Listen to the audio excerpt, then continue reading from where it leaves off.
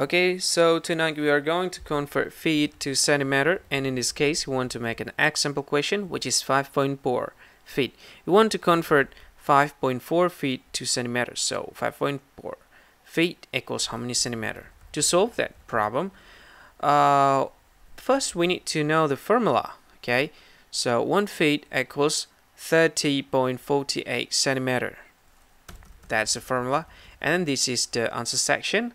First, just write again the question and then you write again the formula and then this is how you solve the problem. You need to uh, rate the formula first, right here, and then you multiply this number with 5.4 and this number with 5.4 as well. Um, okay, just like what we have here. So put 5.4 here and put 5.4 here.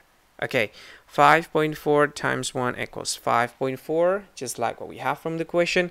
And then 30.48 centimeters times 5.4 equals 164.592.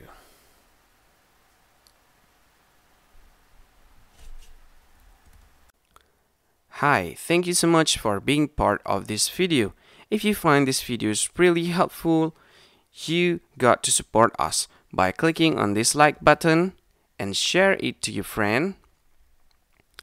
And of course, you need to subscribe in this channel by clicking the subscribe button and don't forget to click on this ring button to get notified for every video we upload on YouTube. And if you have any question or you want to just say thanks to us, just click on this uh, comment section and you can see whatever you want and click in comment. I think that's all of it. Thank you for watching and see you again in the next tutorial. Bye bye.